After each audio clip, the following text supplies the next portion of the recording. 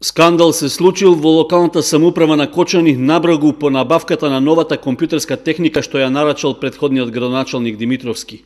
Мистериозно исчезнал еден од 24 лаптоп компјутери од една од канцелариите во кои се чувал дел од купената опрема.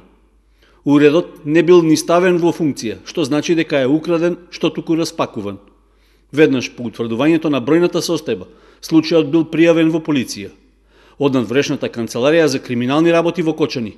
Телефонски за Канал 8 ја потврдија пријавата и рекоа дека веќе е започната истражна постапка. Направен е увид на лице место, а информиран бил и јавниот обвинител. Со оглед што истрагата се уште трае, други информации не можеа да откријат, но најверојатно по прибирањето на доказите ќе следува соодветна пријава.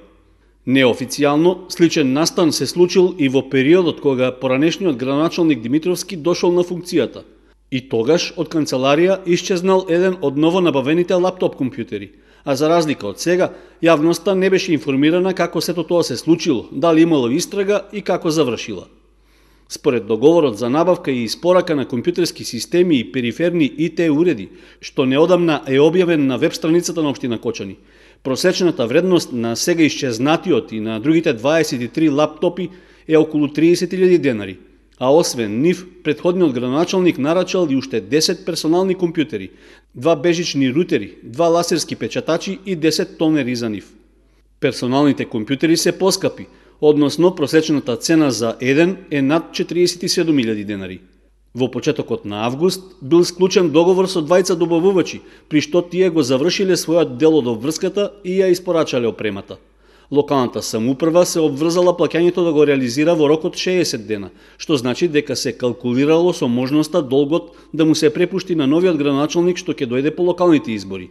Тоа и се случило, па градоначалникот Илиев наследил обврска на добавувачот Боки компјутери од Штип да му плати 1 милион и 249 денари за компјутерите, а на фирмата Trendcom од Струмица да ја исплати над 88 денари за печатачите, рутерите и тонерите. Анализата на набавената опрема, посебно на лаптоп компјутерите, покажува дека на наддавањето за најниска е постигната неочекувано висока цена за едно парче, со оглед на техничките карактеристики на уредите.